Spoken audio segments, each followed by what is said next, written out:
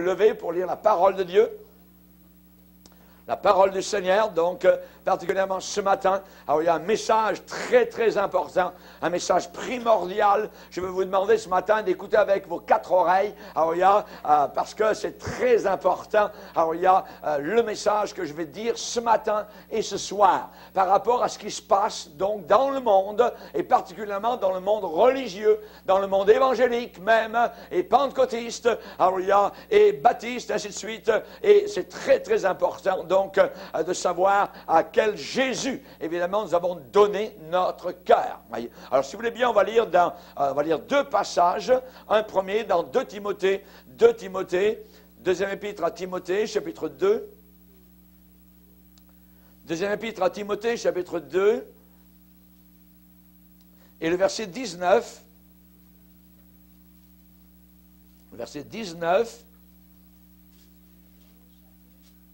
2, chapitre 2, 2 Timothée, chapitre 2, verset 19. L'apôtre Paul donc écrit sa dernière lettre, c'est son, testament spirituel avant qu'il ne soit euh, donc euh, décapité à Rome, et il écrit sa dernière lettre donc à, à Timothée. Néanmoins, le solide fondement de Dieu reste debout, avec donc deux paroles. Ces paroles qui lui servent de sceau. La première parole, le Seigneur connaît ceux qui lui appartiennent. Et, deuxième parole, quiconque prononce le nom du Seigneur, qu'il s'éloigne de l'iniquité, qu'il s'éloigne du péché. Nous allons lire un deuxième passage maintenant, si vous voulez bien aller dans 2 Corinthiens, la deuxième épître de Paul aux Corinthiens, chapitre 11. Deuxième épître de Paul aux Corinthiens, chapitre 11, et nous allons lire à partir du verset 2. 2 Corinthiens, chapitre 11, verset 2. Car, dit Paul, je suis jaloux de vous, d'une jalousie de Dieu. Parce que, pourquoi Paul était-il jaloux des chrétiens de Corinthe? Parce que je vous ai fiancés un seul époux pour vous présenter à Christ comme une vierge pure. Toutefois, de même que le serpent séduisit Ève par sa ruse, je crains, j'ai peur que vos pensées ne se corrompent et ne se détournent de la simplicité à l'égard de Christ. Car si quelqu'un vient vous prêcher un autre Jésus que celui que nous avons prêché, ou si vous recevez un autre esprit que celui que vous avez reçu, ou un autre évangile que celui que vous avez embrassé, vous le supportez fort bien. Or, j'estime que je, n'ai été inférieur en rien à ces apôtres par excellence, à ces super pasteurs, voyez, ces super apôtres. Si je suis en ignorance sur le rapport du langage, je ne le suis point sous celui de la connaissance. Et nous l'avons montré parmi vous à tous égards en toutes choses. Et on, va aller plus loin au verset 13. Verset 13.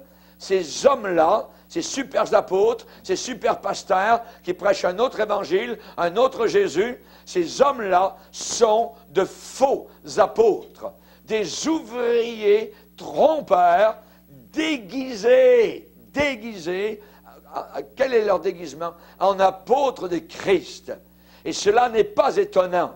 Hein, ne soyez pas surpris, puisque Satan lui-même se déguise en ange de lumière. Il n'est donc pas étrange que ces ministres, c'est-à-dire les ministres du diable, aussi se déguisent en ministres de justice. Leur fin sera selon leurs œuvres, c'est-à-dire la perdition. Amen.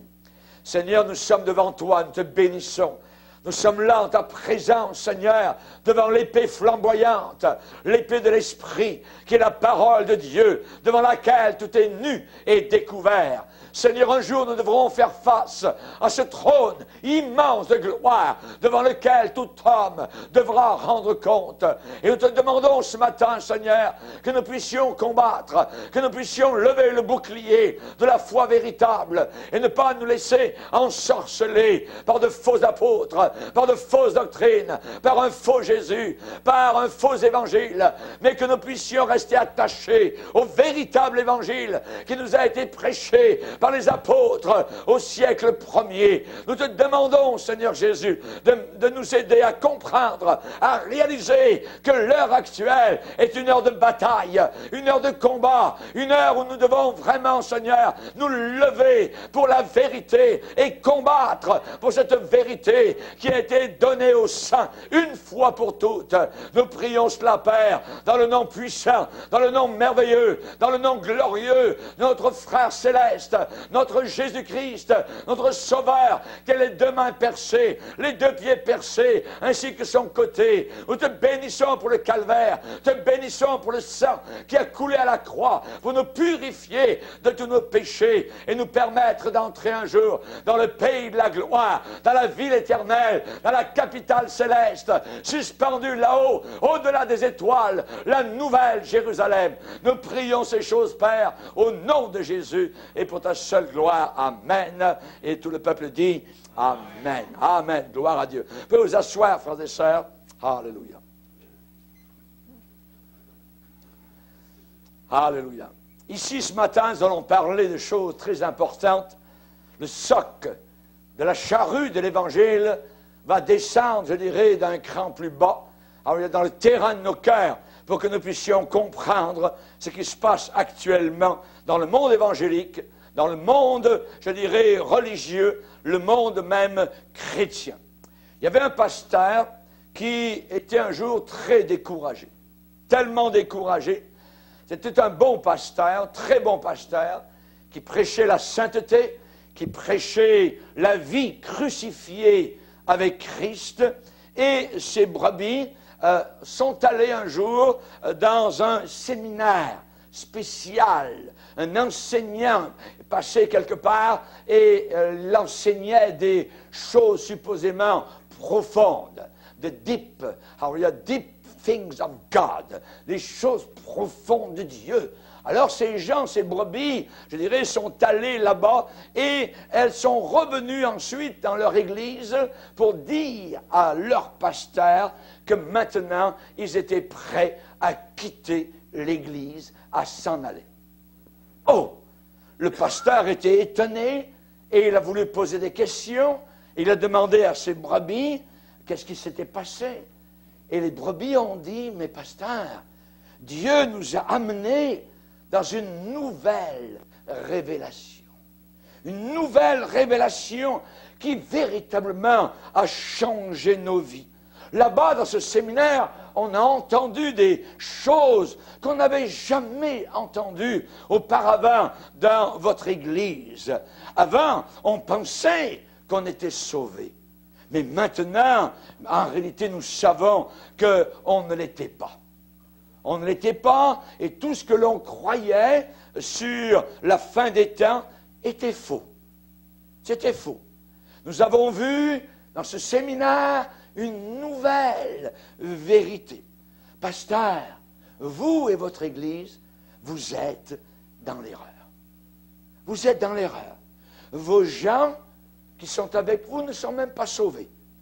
Et vous pensez que vous prêchez la sainteté, mais nous, au travers de ce, merveilleux enseignant qui nous a enseigné pendant tout un séminaire, nous avons découvert ce qu'est véritablement la vraie sainteté. Nous avons trouvé quelque chose de nouveau. Aujourd'hui, ce même groupe de personnes ne va même plus à aucune église. Pourquoi? Parce que ces gens-là ne peuvent même pas trouver quelqu'un qui va les amener dans des choses plus profondes de Dieu. Dis peu. Ces gens-là veulent toujours du profond, du profond, voyez. Et ils se nourrissent de quoi?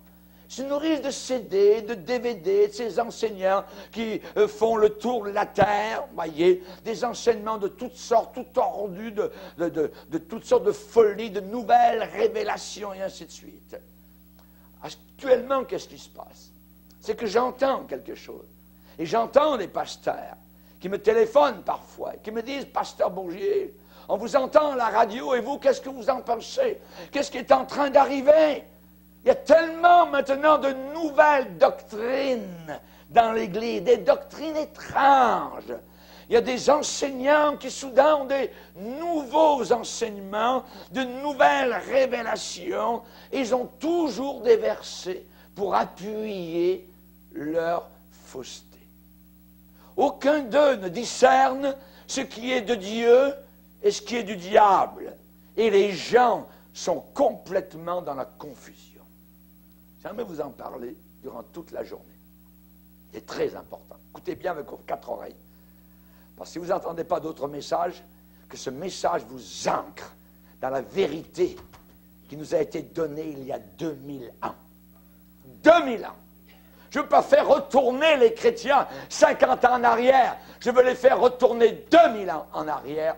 Nous avons reçu le dépôt des Saintes Écritures, le canon de la sainte doctrine que nous devons ne jamais changer au travers de tous les siècles. Aujourd'hui, de nouvelles doctrines, de nouveaux enseignements, de nouvelles révélations, de nouveaux évangiles un nouveau Jésus, un autre Jésus, un autre évangile, un autre esprit qui est enseigné par des pasteurs qui ont un déguisement sur eux. Et le déguisement, ils se déguisent en pasteur de Jésus. C'est le déguisement. Mais derrière cela sont des ouvriers de Satan. Écoutez bien ce que je suis en train de dire des ouvriers du diable. La Bible nous avertit clairement que dans les derniers jours, des doctrines étranges sortiront en introduisant au milieu du peuple de Dieu un autre Jésus, un autre esprit, un autre évangile. Il a été écrit dans la Bible, dont le canon est fermé, malheur à celui qui ajoute, quelque chose à ce livre-là, ou qui retranche quelque chose à ce livre-là. Parce que sinon sa vie sera retranchée là-haut du ciel. Et il n'y a pas d'autre alternative que l'enfer. Il n'y a pas de purgatoire. Ça n'existe pas. Il n'y a que le ciel et l'enfer. Je dois absolument avoir la crainte de Dieu pour garder, je dirais, la doctrine, la parole de Dieu telle qu'elle nous a été transmise. Je ne veux rien savoir de nouveautés qui nous arrivent de 20 ans en arrière, 30 ans en arrière, 40 ans en arrière, de nouveaux livres, ainsi de suite. Quand vous avez dans les librairies chrétiennes, maintenant, je dis bien librairies chrétiennes, les livres de Harry Potter qui sont vendus là directement. C'est abominable. C'est une abomination. Voyez. Un autre Jésus, un autre esprit, un autre évangile. L'apôtre Paul a écrit à Timothée, Testament spirituel de Timothée, dernière lettre, il viendra un temps, une époque où les hommes ne supporteront plus la saine doctrine. Supporteront plus. J'ai eu des gens, moi, qui, sont, qui ont toffé pendant des mois à, écouter ma parole, à écouter ce que j'enseigne. Un beau jour, ils sont venus me voir, des pasteurs, je ne peux plus vous supporter. Oh, si vous ne pouvez plus me supporter, voyez, c'est exactement ce que la Bible déclare. Ils ne supporteront plus. Ils ne c'est le mot exact. Ils ne supporteront plus la saine doctrine.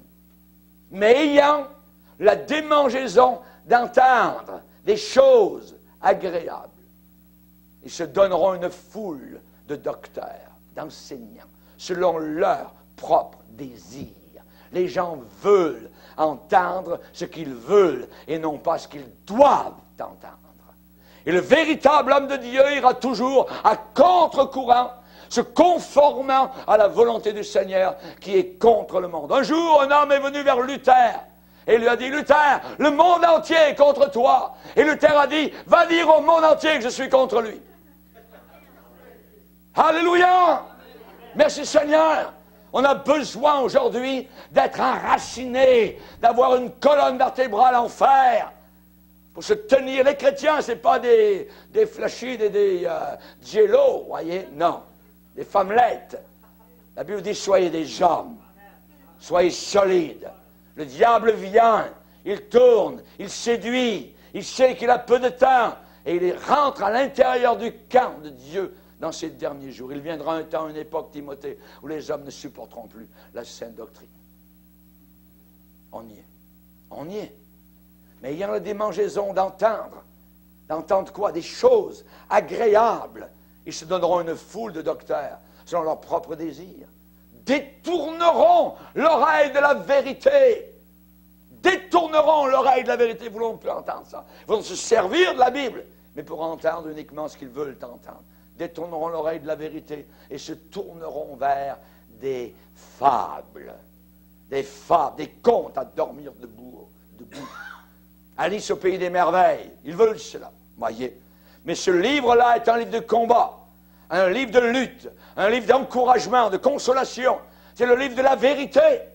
Daniel, je vais te faire connaître les paroles du livre de la vérité. C'est ce qui est écrit.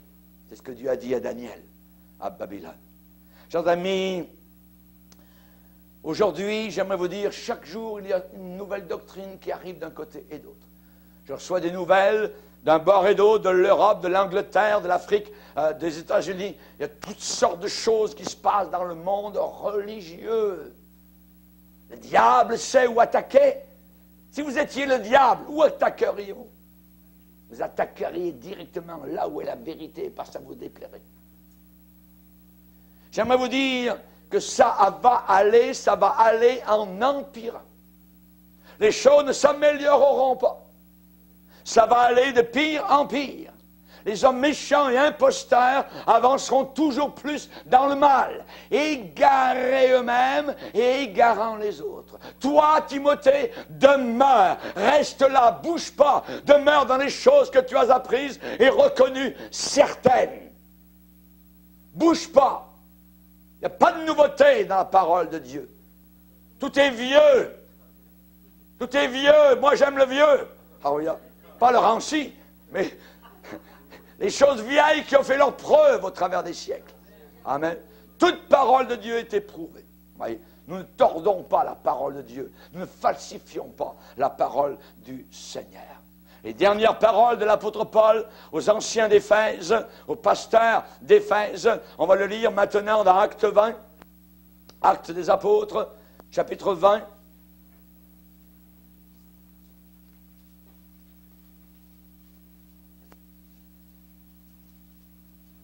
Verset 28. Acte 20, verset 28. Prenez donc garde à vous-même et à tout le troupeau. Il parle ici à des pasteurs. Prenez donc garde à vous-même et à tout le troupeau sur lequel le Saint-Esprit vous a établi évêque, c'est-à-dire pasteur, épiscopos, surveillant, pour paître l'Église du Seigneur. Un pasteur doit nourrir l'Église du Seigneur, qu'il s'est acquise par son propre sang.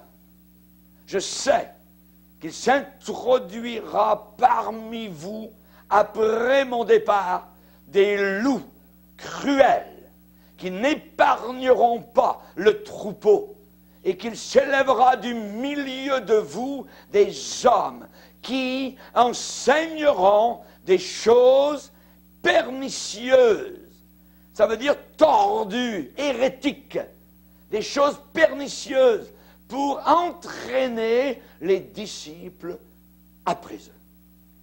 Donc des gens qui ne veulent pas entraîner les disciples vers Jésus, mais vers eux. Si dans une église tout tourne autour du bonhomme, c'est dangereux. Tout dans l'église de Christ doit tourner autour de Jésus, autour de la croix du calvaire, les pasteurs ne sont que des serviteurs, diaconas, épiscopos, surveillants. On est là en train d'apporter la parole du Seigneur, la nourriture de Dieu aux brebis du Seigneur. Tout le temps que l'apôtre Paul a servi les églises qu'il avait établies, il a eu toujours une sorte de peur et de crainte jusqu'à sa mort. Pourquoi C'est la crainte de tout pasteur véritable, berger véritable, toute crainte que tout pasteur doit avoir. Voyez, ce sont les faux docteurs qui rentrent d'une façon ou d'une autre pour séduire, séduire les brebis. Paul a dit, veillez donc, vous souvenant que pendant trois ans, je n'ai pas arrêté nuit et jour d'exhorter avec larmes chacun de vous. Je vous ai encouragé, j'ai voulu vous consoler, vous fortifier, vous montrer comment l'ennemi travaille, vous préparer, pas juste euh, euh, danse, rock, saute, puis tout ça, alléluia, puis ainsi de suite. Non, non. On a besoin, oui, c'est bon de louer le Seigneur, mais on a besoin d'enseignement, de savoir, de connaître, de discerner. Et cela ne vient que par l'enseignement de la parole de Dieu. Je dois faire attention au pied de qui je me tiens. Parce que je deviens comme celui qui me nourrit. Si c'est un faux prophète, je veux devenir un bouc. Je ne serai plus une brebis. C'est très dangereux. C'est très dangereux de s'asseoir au pied d'un faux docteur. Paul va dire aux Corinthiens, je suis jaloux de vous, d'une jalousie de Dieu. Qu'est-ce que Paul voulait dire? Eh bien, Paul ne parlait pas de quelqu'un qui était en train de voler ses brebis à lui. Paul ne disait pas, Hé, ces brebis sont à moi. Voyez, c'est moi qui suis leur enseignant. Ces brebis sont sous mon autorité. Non, c'est pas ça que Paul voulait dire. Paul était indigné et il pensait que quelqu'un pouvait venir se placer entre les disciples et leur amour pour Jésus. Les faux docteurs entraînent les brebis vers eux, pas vers Jésus, vers eux je vous ai fiancé à un seul époux. Un seul époux. Comment les avait-il fiancés? En leur apportant l'évangile. Et l'évangile les avait sauvés, leur avait montré la vérité.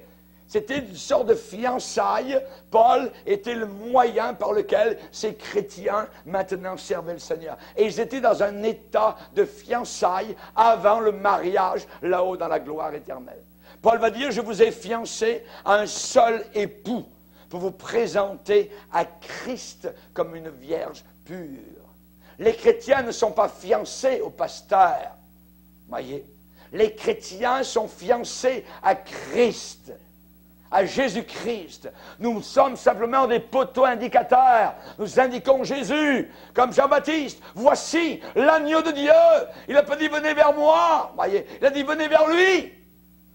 Voici l'agneau de Dieu. Il faut que je diminue et que lui grandisse. Alléluia. Merci Seigneur.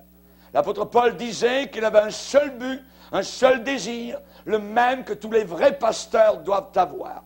C'est-à-dire quoi? C'est un jour, un jour merveilleux, se tenir devant le trône du jugement de Christ. Se tenir devant le trône du jugement de Christ et présenter chaque enfant de Dieu pur, sans tache, saint, juste, enraciné jusqu'à la fin dans la parole de Dieu, établi dans les Écritures et les présenter avec joie au Seigneur.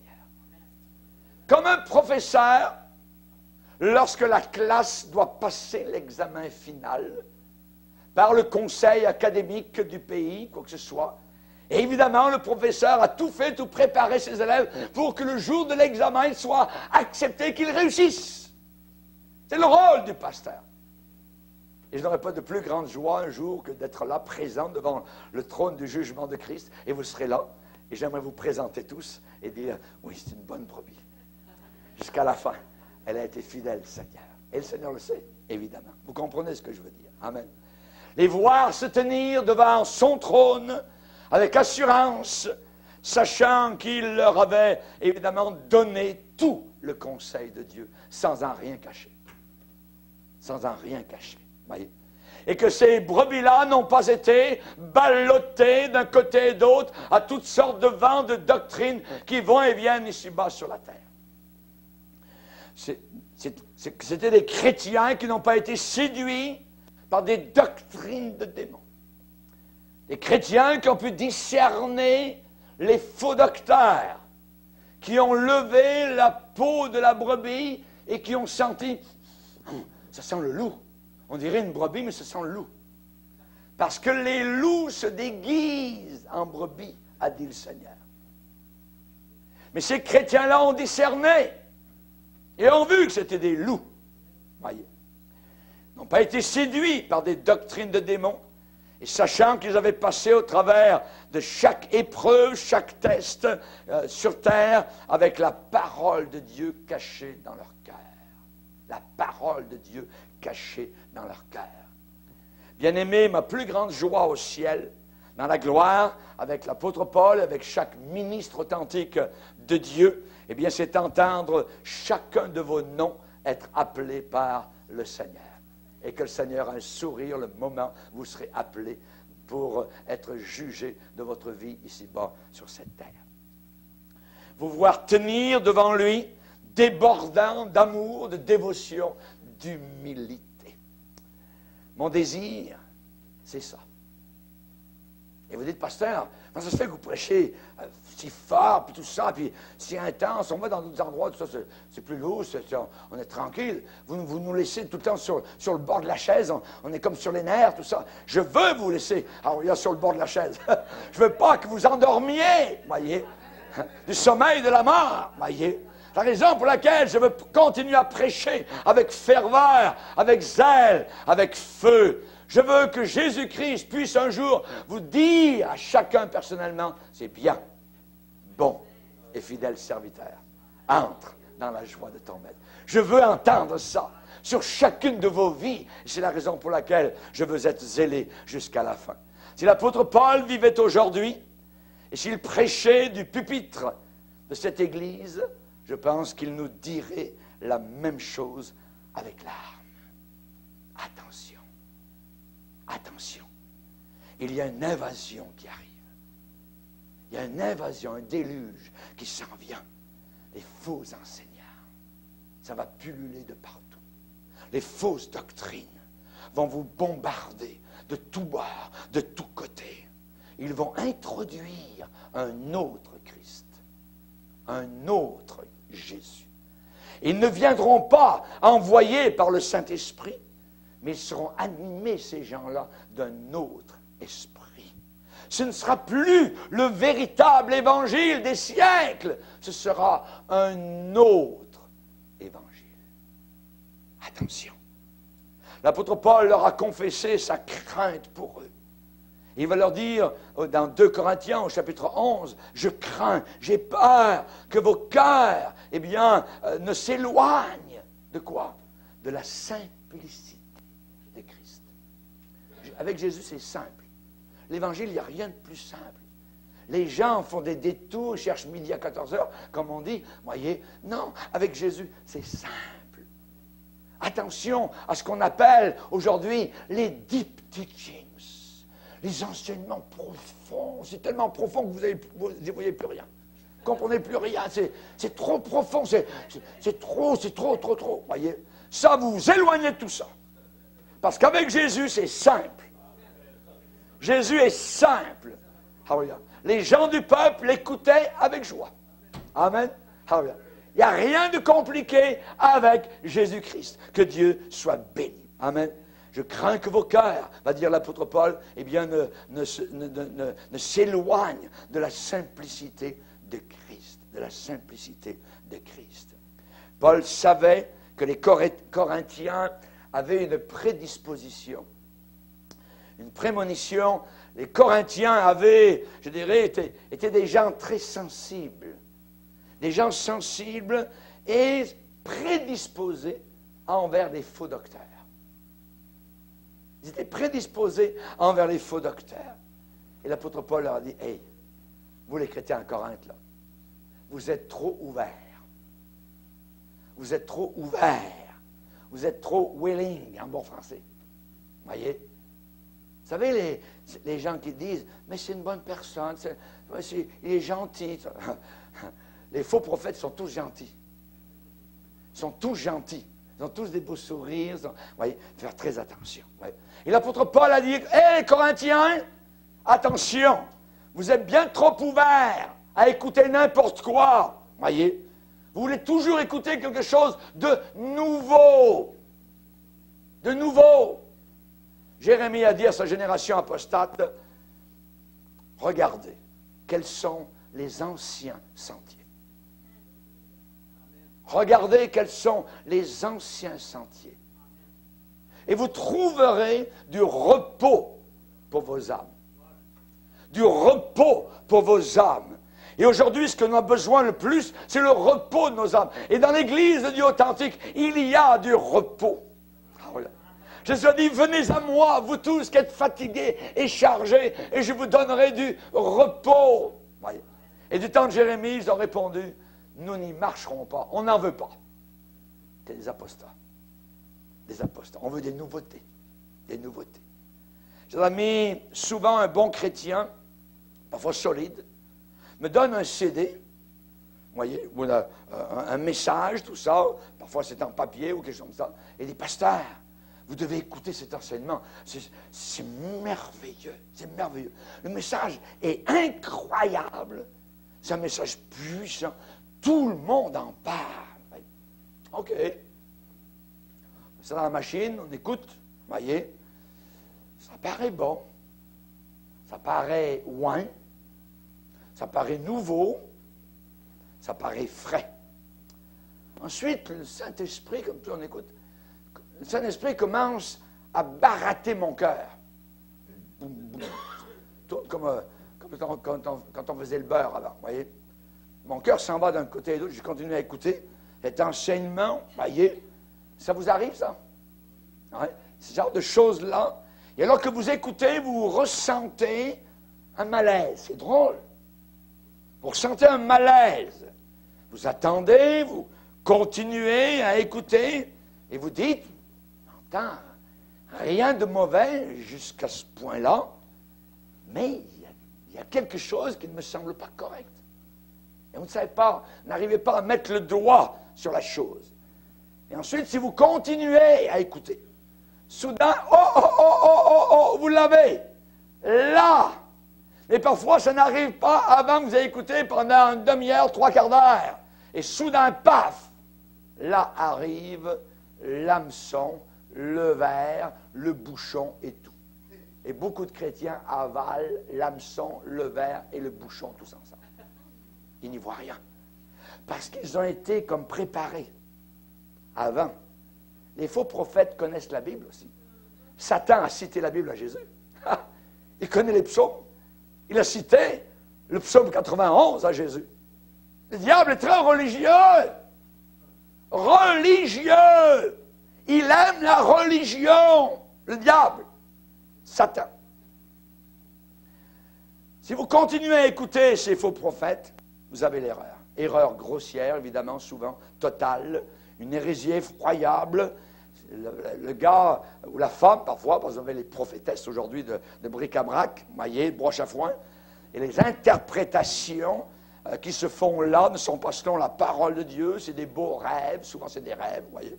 Euh, j'ai rêvé, j'ai rêvé, voyez. Des imaginations, des, fantaisies plaisantes, agréables, des fables, comme la Bible dit, des fables, voyez des idées propres à l'homme, comme si la personne venait de découvrir un mystère, avait dévoilé soudain quelque chose que les chrétiens pendant 2000 ans n'ont jamais vu. Ah, ils ont eu 2000 ans pour... La parole de Dieu, elle a été bardassée d'un côté et d'autre. Il y en a qui l'ont étudiée, vous voyez, des vrais hommes de Dieu authentiques, mais ils n'avaient jamais vu ça. Attendez. Attendez. Dans Isaïe, Dieu dit c'est un peuple rebelle ce sont des esprits et des enfants menteurs. Menteurs. Ça veut dire qu'un faux prophète, tôt ou tard, vous l'écoutez, et ça ne s'enligne pas avec l'ensemble, l'ensemble de la parole de Dieu. L'apôtre Paul était étonné comment les Galates étaient facilement influencés. Les Galates oscillaient entre les faux docteurs et l'évangile authentique. Ils avaient envie de, tomber avec les, faux docteurs, comme un enfant qui préfère non plus les légumes et les plats que sa mère a préparés, mais euh, les, gâteaux, les bonbons euh, euh, que quelqu'un vient lui offrir. Lisez avec moi dans Galates, premier chapitre. Ça va jusque-là, vous, vous, me suivez? Amen. Galates, premier chapitre, verset 6. Galates, premier chapitre, verset 6. Je m'étonne je suis surpris, dit l'apôtre Paul, que vous vous détourniez si promptement, si rapidement, si vite de celui qui vous a appelé par la grâce de Christ pour passer à un autre évangile. Non pas qu'il y ait un autre évangile, mais il y a des gens qui vous troublent et qui veulent renverser ce mot renverser veut dire pervertir, voyez, veulent renverser l'évangile de Christ. Mais quand nous-mêmes, nous les apôtres, quand un ange du ciel, si un ange du ciel vous apparaissait, voyez, et vous annonçait un autre évangile, que celui que nous vous avons prêché, qu'il soit maudit. Anathème, ça égale maudit. Nous l'avons dit précédemment, et je le répète à cette heure, si quelqu'un vous annonce un autre évangile, c'est-à-dire un évangile différent que celui que vous avez reçu, qu'il soit anathème, c'est-à-dire maudit. C'est pas à peu près. Donc, il faut absolument garder le véritable évangile. Le véritable évangélion. Voyez? Cet évangile qui nous a été annoncé par les apôtres. Alors, Évidemment, ne soyez pas si gentils avec tel, je dirais, personnage religieux ou tel pasteur qui enseigne des bêtises. Voyez, ce n'est pas l'évangile que vous avez entendu de moi, va dire l'apôtre Paul. L'évangile que je vous ai prêché, ce n'est pas l'autre évangile que vous êtes en train d'embrasser. Vous êtes en train de vous détourner de la vérité pour embrasser un autre évangile. Un autre évangile. Le mot autre arrive quatre fois ici, juste dans quatre versets. Imaginez. Autre. Un différent. Un évangile différent. Et si quelqu'un vous prêche un autre évangile, c'est fini. Vous êtes sur la direction chemin grand, large qui mène en enfer. Vous serez avec les pervers, les perdus, les homosexuels, tout ce que vous voulez en enfer. C'est abominable. C'est. Voyez? Donc absolument ma bataille, ma bataille, ma lutte, c'est de garder le véritable évangile. Je ne veux pas le changer, je ne veux pas le toucher, je ne veux pas le reviser. Dans l'Église émergente aujourd'hui, on veut reviser l'Évangile. On veut revoir l'Église. Il faut refaire, il faut tout revoir. Non, non, moi je ne veux rien revoir. Moi je veux garder. Garder. Garder l'Évangile tel qu'il vous a été annoncé. Sinon, vous auriez cru pour rien. Sinon, vous auriez cru pour rien, va dire l'apôtre Paul dans 1 Corinthiens chapitre 15. Amen. Donc, chers amis, si ce n'est pas de Dieu, c'est maudit, c'est anathème, c'est pourri, c'est mortel. C'est mortel. il y a des gens par milliers qui sont au pied de pasteurs ou de docteurs qui prêchent un évangile pourri, mortel. Ce n'est pas une petite affaire. Voyez. Ouais, mais il parle de Jésus. Quel Jésus? Quel Jésus? C'est une affaire très sérieuse. Et ça va vous troubler si vous êtes pris à l'intérieur de cela. Ne prenez jamais cela à la légère. Ne supportez pas cela. Ne soyez pas gentil vis-à-vis de cela. Que celui qui prêche cet autre évangile soit maudit. C'est ce que la parole de Dieu déclare, et je me tiens derrière à l'ombre de la parole du Seigneur. Aucune importance si un ange vous apparaît et vous dit que le message est de Dieu. Non, non, non, non. Voyez? Aucune importance. Si vous et votre ami vous dites Oh, mais moi, euh, j'ai le don de discernement et je discerne ce qui est correct. Aucune importance de ça. La Bible est claire, si ça ne s'aligne pas avec l'évangile de l'apôtre Paul, c'est de Satan et c'est maudit. Ça vient du diable et c'est maudit. Comment reconnaître Maintenant, c'est la question. Comment reconnaître le véritable évangile de ce qui est maudit? Alors attention, je dirais, aux faux docteurs. Voyez. Comment commence un faux docteur? Un faux docteur, les plus démoniaques, les plus démoniaques des faux docteurs, commencent toujours avec des avertissements sur la fausse doctrine. Le croiriez-vous? Un faux docteur va arriver en vous avertissant. Je ne suis pas un faux docteur, moi, ce matin, mais je, vous, je vous avertis. Un faux docteur commence toujours à prêcher en avertissant contre les fausses doctrines. Ces faux docteurs avertissent haut et fort de ne pas se faire prendre par quelque chose qui ne vient pas de Jésus-Christ. Et presque chaque faux docteur parle très fort contre les fausses doctrines, puis ensuite commence à prêcher ce qui est faux. Une fois que la confiance des gens est euh, qu'il a eu la confiance des gens, là, il, commence à annoncer ces, fausses choses. Voyez? Et ces faux docteurs passent beaucoup de temps à persuader ceux qui les écoutent qu'ils euh, ne sont pas de faux docteurs. Voyez? Et euh, cependant, ils préparent les gens et les conditionnent à écouter leur message. Leur message à eux. La doctrine qu'ils enseignent, évidemment, est fausse, mais euh, quand, on a, quand on est au pied de quelqu'un qui enseigne une fausse doctrine, il faut bien écouter ce que la personne dit. Jean va dire éprouver les esprits. Il ne peut pas dire, ah, euh, un démon, mais dis-moi ton nom, démon, dis-moi ton nom. Ah, Jésus chassait les démons, ne demandait pas leur nom. Éprouver les esprits, ça veut dire vous parler à la personne à la personne même et vous demandez des questions. Qu'est-ce que tu penses de Jésus? Qu'est-ce que tu penses de la Bible? Qu'est-ce que tu penses de la résurrection? Qu'est-ce que tu penses de la virginité de Marie? Posez des questions. Éprouver les esprits, c'est ça, éprouver les esprits. Ce n'est pas éprouver les démons, c'est éprouver l'esprit de la personne, ce qu'elle croit à l'intérieur. Éprouver les esprits pour savoir s'ils sont de Dieu ou s'ils ne sont pas de Dieu. Voyez? C'est comme ça. Faut poser des questions. Ce n'est pas uniquement parce que quelqu'un parle de Jésus, a une Bible entre les mains, ou vous montre sa carte de pasteur. Aujourd'hui, en Amérique du Nord, vous pouvez écrire à une certaine euh, organisation le lundi, et le vendredi, vous recevez votre carte de pasteur. Vous n'avez jamais vu ni connu, et vous êtes pasteur. Faire très attention. Faire très, très attention. Les faux docteurs préparent les gens, les conditionnent les conditionne à écouter leur message.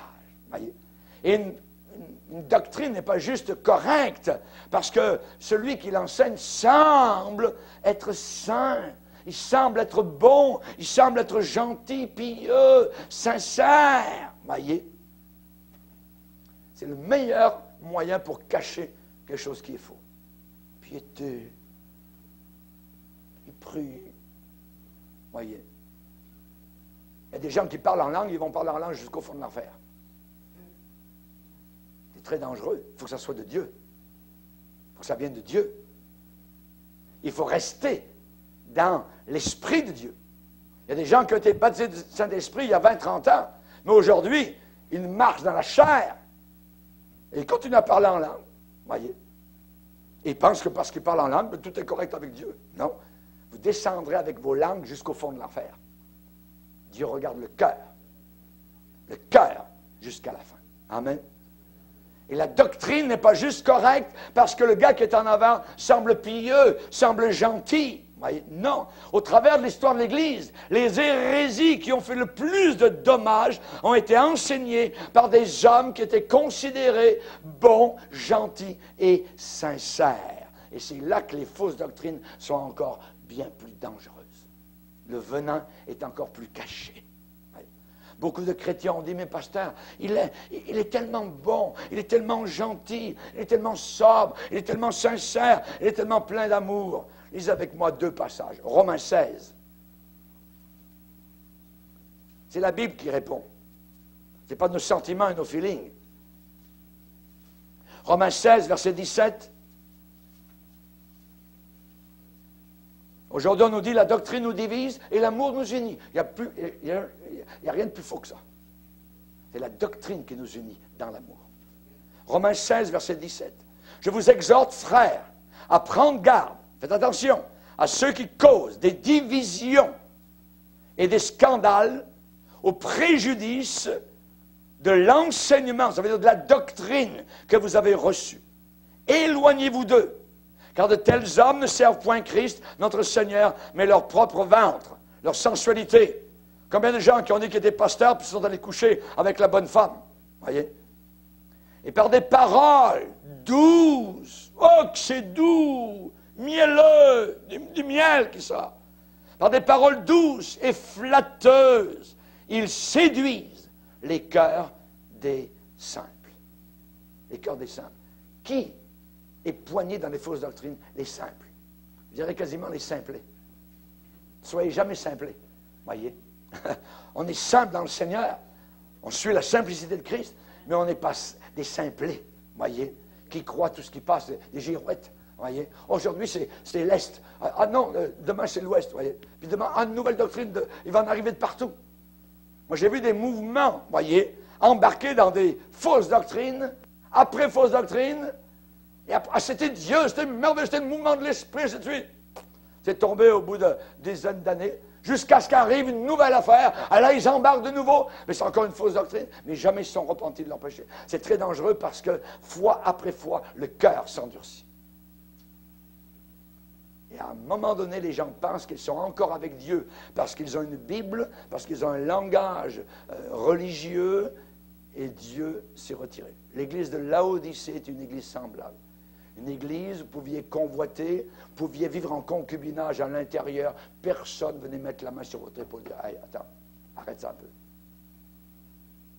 Dans l'église de Dieu, on marche dans la pureté. On marche dans la sainteté. Voyez mais il y a beaucoup d'églises aujourd'hui. Vous pouvez rester là pendant deux ans, trois ans. Personne ne viendra vous voir, tout ça. Vous vivez en concu- Vous n'êtes pas marié. Un jour, on a dit à un pasteur de cette église Mais voyons, ils vivent en concubinage. Vous êtes en train de les baptiser dans l'eau.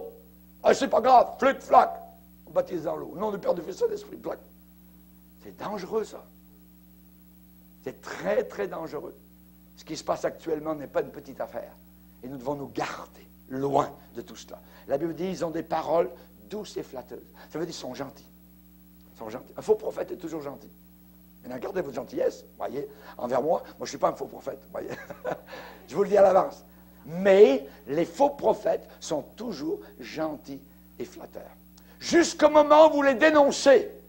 Soudain, il y a une métamorphose d'une belle petite brebis. Vous voyez des, des, des- des- crocs qui poussent. Vous voyez, soudain, euh, ça parle comme un loup, ça parle plus comme une brebis. Voyez. Jusqu'au moment où vous les dévoilez. Vous les dévoilez. On va lire un autre passage dans Colossiens.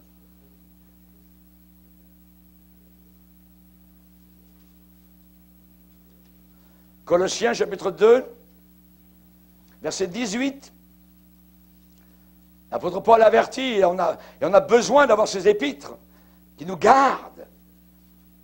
Colossiens 2, 18. C'est un avertissement contre le mysticisme. Qu'aucun homme, sous une apparence d'humilité, on dit bien apparence, on va voir tout à l'heure que l'humilité n'est pas du tout l'humilité, c'est le contraire. Qu'aucun homme, sous une apparence d'humilité et par un culte des anges, ne vous ravisse à son gré le prix de la course, tandis qu'il s'abandonne à ses visions et qu'il est enflé d'un vain orgueil. Tiens, la personne qui était humble, tout d'un coup, la Bible dit que c'est un orgueilleux. Tout à l'heure, il a dit qu'il a une apparence d'humilité. Maintenant, on nous dit qu'il est enflé. Enflé, ça veut dire quoi enflé? Une enflure, c'est. Voyez Une enflure, c'est. quelque chose qui ne marche pas. Voyez Moi, j'ai eu une enflure ce printemps moi, dans, ma, dans ma jambe parce que j'ai frappé contre un, morceau de fer. Voyez Pouf, la jambe a commencé à enfler. Il a fallu que j'aille chez le docteur. Puis le docteur a pris un scalpel, tchouk, pour, ouvrir tout ça. Il a fait sortir tout le pu. Et tant qu'il n'y a pas l'opération de scalpel par le Saint-Esprit, le pu est à l'intérieur. La personne est enflée d'un vain orgueil. une vision si Dieu m'a révélé ça, les anges, tout ça. Je les connais, tel ange m'est apparu, je connais leur nom, tout ça. Ah, le, chrétien qui est simpliste, ah, ah, ah, même, même, même, je connais rien, moi.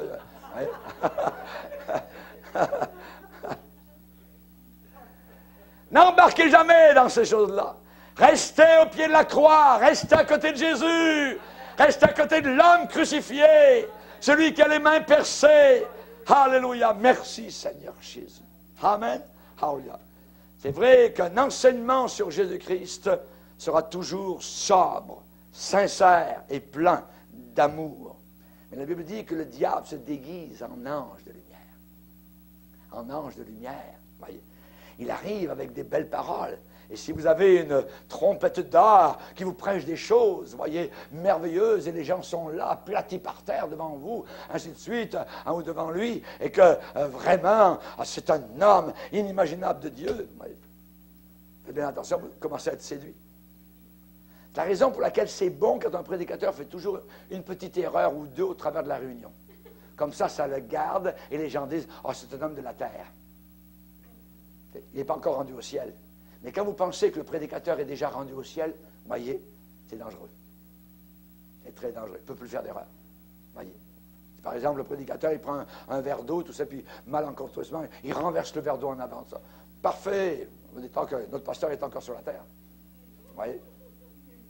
Comprenez ce que je veux dire? Il y a des gens qui sont littéralement séduits par des faux docteurs. Quand j'étais étudiant à l'école biblique, il y avait un homme qui est arrivé de Suisse, à Montréal, un enseignant hors pair.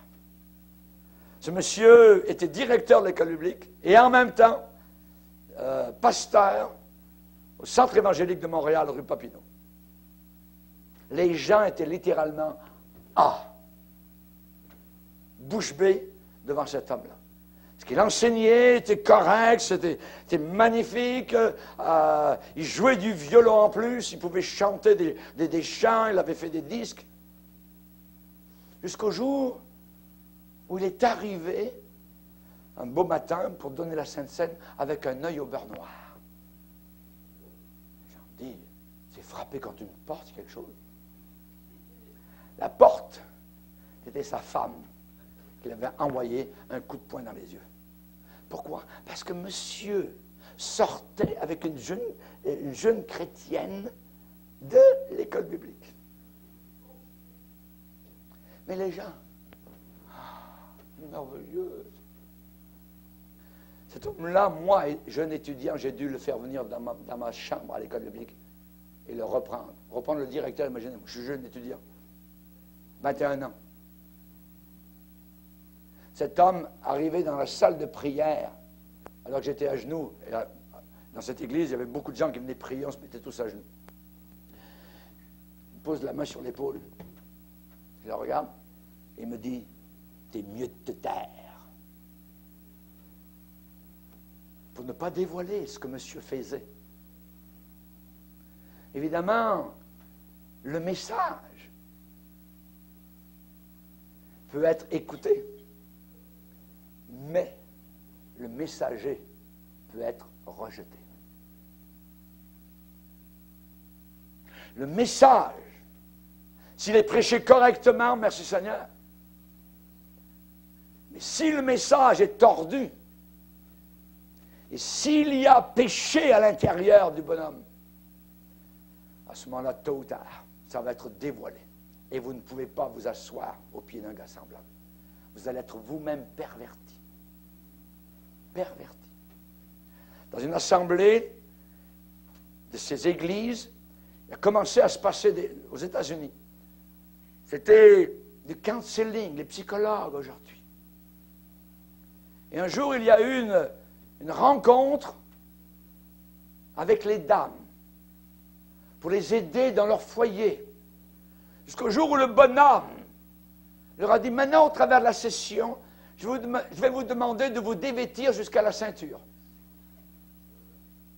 Un esprit d'adultère était là à l'intérieur. Et dans cette église, ensuite est arrivé des adultères, en veux-tu, en voilà. C'était le mari de l'homme avec la femme de l'autre, ainsi de suite. Le diable avait littéralement saisi cette église-là.